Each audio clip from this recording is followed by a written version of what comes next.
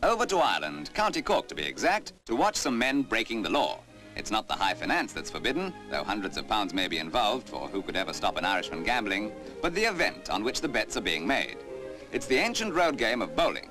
Mind you, it's two centuries since the law was passed, and no one would dream of enforcing it today. But the British administration of the time banned bowling as a dangerous and revolutionary game. Somehow the law's never been repealed, but the game goes on as it has from time immemorial.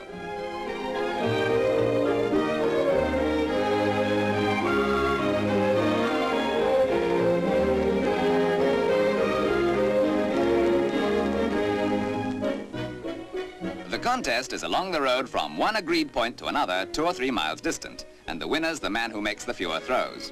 Here's one of the protagonists, 21-year-old Bill Desmond from Farran. The betting is collective.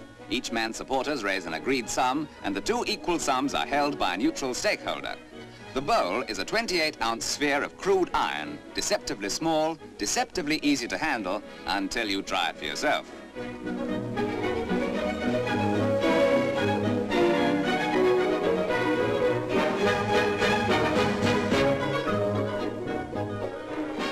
Bill Desmond's a real expert. Maybe one day his name will rank with those of the great bowlers who have become part of the county's history.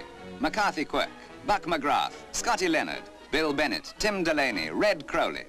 Men like these have won thousands of pounds for their backers over the years, but there's not a corkman worthy of the name who hasn't practiced ever since he was strong enough to lift a bowl.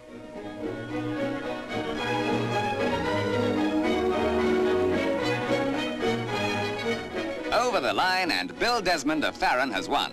There's a darling cup for his mantelpiece, not to mention all the money he's made for his pals.